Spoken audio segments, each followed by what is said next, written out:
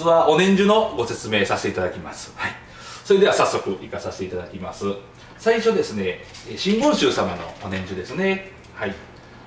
まあ見た感じまあこういう感じが真言宗様。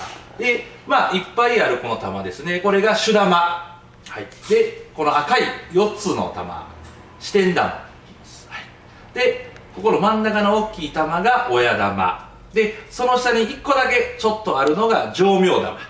でその下ですね5つ並んでいるのが弟子玉。でその下が梅雨玉。で房という形になります、はい、で続きまして浄土真宗様。のお念珠の方ですね。はい、はい、えーと、こちらの方が浄土真宗様のお念珠になります。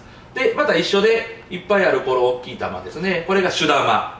でここの2つの緑のですね。これ2点玉。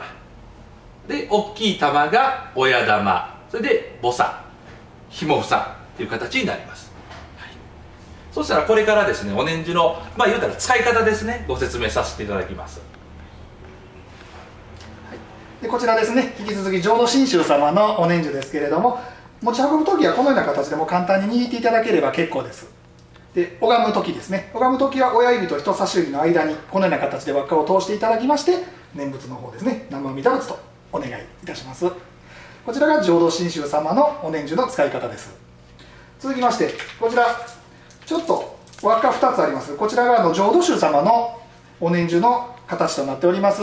で使い方ですけれどもこちらですね上の輪っかになっている部分が親指と人差し指の間にこのように通していただきまして続きまして下のこちらの輪っかを中指と薬指ですね。ごめんなさい。こちらの方にこのような形で通していただきまして親指でこんな形でちょっと玉を動かしながらこちらもお念仏の方してください。で続きましてこちらですね。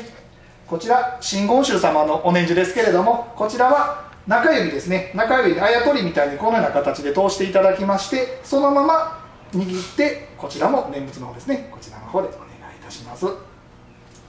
でこちらこれもあの持ち運ぶ時ですけれどもこちらの方をねじってこのような形で二連式にしていただきましてこちら親玉ですね。親玉の方をこのような形で握りしめ上に持ってきて握りしめてこのような形で動かすのが真言宗様の握り方となっております。こちらで以上となっております。勉強になりました。ありがとうございました。こちらこそありがとうございます。またあの参考にしていただければいいかと思います。今日はどうもありがとうございました。ありがとうございましたチャンネル登録を。お願いします。